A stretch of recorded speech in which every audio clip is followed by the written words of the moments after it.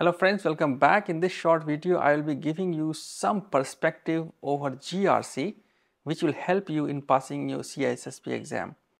Now, by perspective, I mean I will give you an understanding which you may not find in your books, but it comes from the experience. So if you look around, uh, you will see many standards. In your school days, you studied about standards for mass, length and time.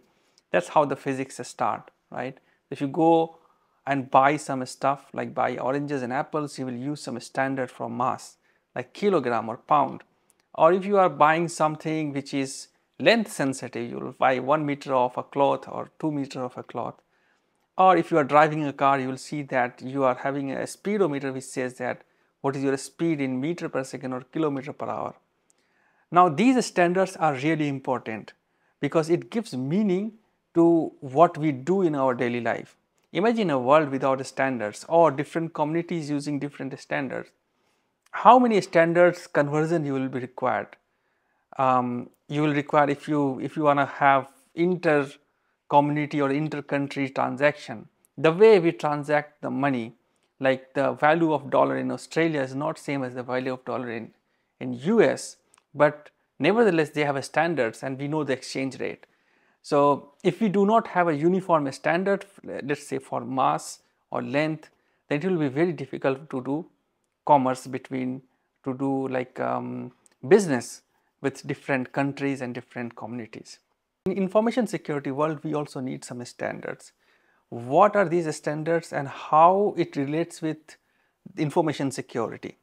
In, uh, in the physical world, we know that, okay, we need a standard for mass, we need a standard for length, but in information security, what standard you need? Do you need a standard for confidentiality, integrity, availability? Now these standards are in terms of some security controls, right? So these security controls are standardized by NIST and ISO. In CISSP, we generally discuss NIST.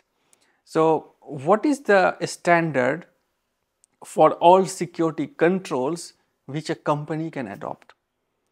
Now this set of security controls which a company can adopt for its security and privacy is documented in a, in a document which is called NIST 853, 800-53. So NIST 853 is a set of security controls a company need to enforce information security or cyber security for its functioning. Now this is one set of one set of uh, uh, standard basically. Now, the other set of standard relates with risk. So, what I explained for the security controls of the security and privacy is what we what you need for the governance of cyber security or information security. When you do risk management, enterprise risk management or risk assessment, you, need, you also need a set of standard and that is put forth again by NIST in document 839 and 830. There is another uh, risk management framework 837 for federal organization. Uh, that's similar you can say the, the cousin of 839 uh, which talks about the standards for risk management. Now there is another standard which talks about how you can implement or how you can pick and choose cybersecurity controls from 853 and uh, implement in your organization which is called cyber security framework. The framework actually gives you uh, a, a, contextual idea of how you can drive cyber security for your organization. So on a high level, NIST 853 relates closely to the cyber governance, information security governance of a company, whereas NIST 830 and 39, it relates more with managing risk of a company and um, CSF, which is cybersecurity framework, it gives an, uh, an idea or a framework to best achieve cybersecurity outcome for your company. You can also think of CSF as a guidance or guideline to reduce cybersecurity risk in your company. Of course, when you implement CSF, you will need the risk management framework or, or enterprise risk management, which is explained in uh, NIST 839, NIST 830 cybersecurity risk assessment and uh, 837 which is risk management framework.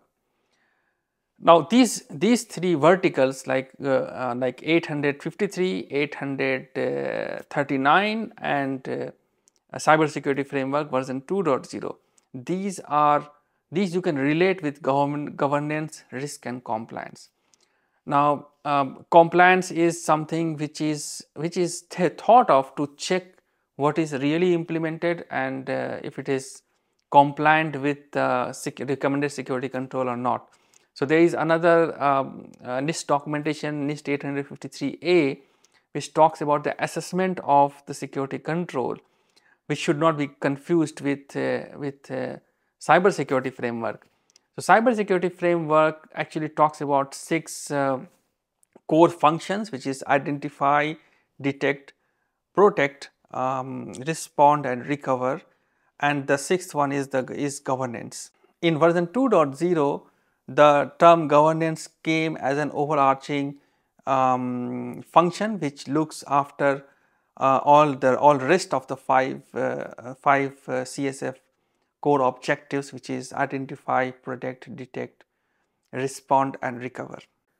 You can relate NIST 853 and cybersecurity framework with an analogy.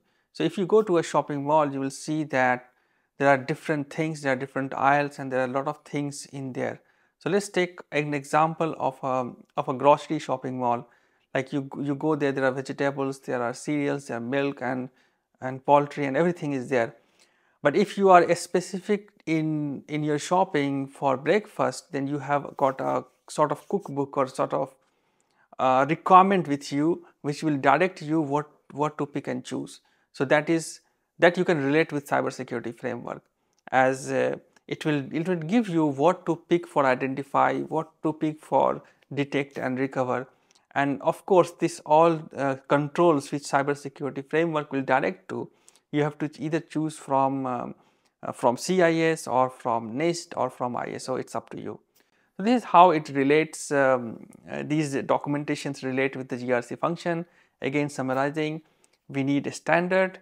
These standards are put forth by NIST and ISO as well but when we talk of CISSP we discuss more uh, about NIST.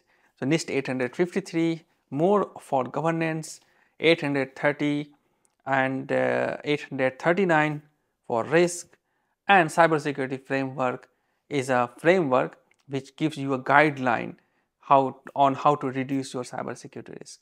I hope you enjoyed the video. Best of luck for your CISSP exams.